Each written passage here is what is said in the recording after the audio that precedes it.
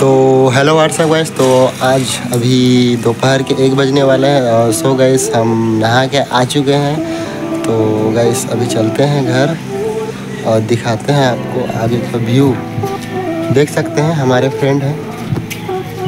लेकिन उनके बारे में नहीं बताएँगे। और क्योंकि वो मतलब बहुत शर्मीले हैं। और दिखाते हैं आपको।